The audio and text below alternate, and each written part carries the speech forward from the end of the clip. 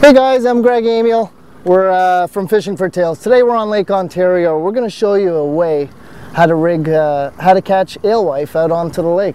As you can see here guys, we're sitting in about 100 plus feet of water and our bait fish are only down 10 to 20 feet. So what I'm going to do is tie on a sabiki rig. Now sabikis originally, from what I understand, came from the States from bait fishing, from the saltwater.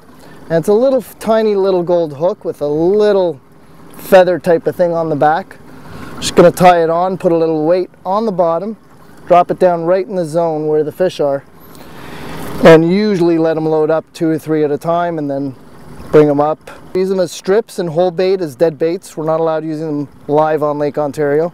Um, but they work great. That's what the salmon and trout are eating. It's a natural forage in the bait, so great way to get out, catch them, have fun, and uh, stock up for the rest of the year. Here we go guys, as you know I'm using my sabikis here and I put a little uh, 3 ounce, 2 ounce little lead weight just to get us down. And as I drop it down go to your targeted depth that you have on your screen. Just drop it down to your range. And you just wait for them to bite. Just give a little jig up and down once in a while. And then boom you got fish on just like that so here we go.